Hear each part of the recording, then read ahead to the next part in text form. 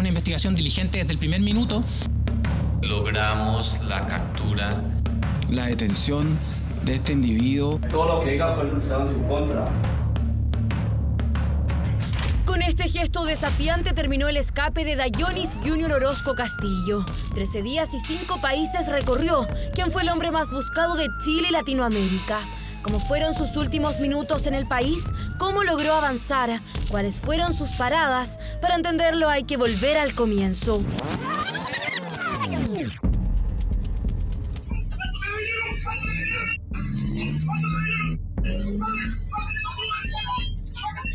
...10 de abril y el en ese entonces teniente Manuel Sánchez caía abatido en Quinta Normal.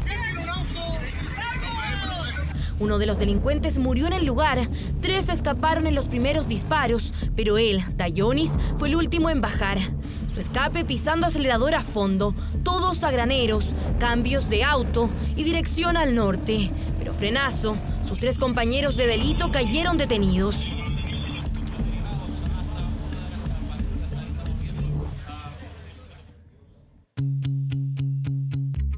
En La Serena se volvió a saber de él. Imprimió este DNI falso, nuevo nombre y nueva apariencia. Listo para seguir avanzando. El objetivo, volver a su natal Venezuela.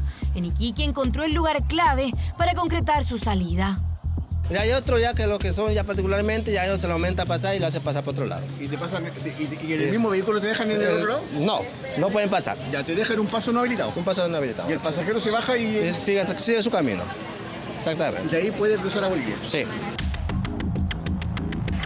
Conocido como el barrio boliviano, la pieza número 7 fue donde vivió sus últimos minutos en el territorio nacional, esperando para abordar un transfer. Esta imagen a la que tuvo acceso 24 horas de forma exclusiva muestra el último rastro conocido de Dayonis en Chile, acompañado de una mujer, un niño y otro hombre. ¿Durmió acá? Sí, creo que sí. ¿En qué pieza durmió? En la 7. ¿En la 7? Sí. ¿Y, se, y, entró, ¿Y cuánto rato durmió acá? Entró como a las 11 de la mañana y se ha debido ir como de 2 a 3 de la tarde. No se quedó a dormir, sino que se quedó como a descansar nomás. Cerca de 10 mil pesos pagó para ser llevado hasta Colchane. Desde ahí las alertas internacionales se activaron.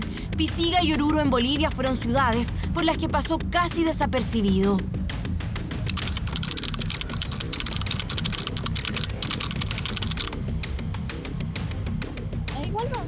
Siempre se movió muy rápido y eso también nos dificultó eh, la, ubicación y la detención.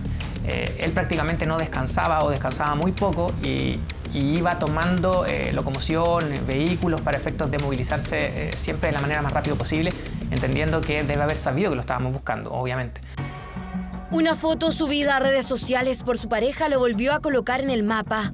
Esta vez en Ecuador, en la ciudad de Huaquillas. Ahí se pidió su extradición si era capturado. Está muy cerca de la frontera con Perú, hay un intercambio de, comercio eh, permanente.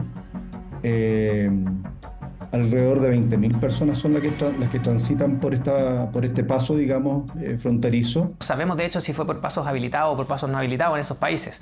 Eh, lo más probable es que él haya estado utilizando eh, la identidad falsa que elaboró y que imprimió en la ciudad de La Serena. sabíamos la posible ruta de escape. El problema era determinar a qué hora o en qué momento iba a pasar por tal lugar. Pero en menos de 12 horas la historia en Colombia cambió y si se pudo determinar los horarios y zonas donde pasaría, un control en ruta fue la clave.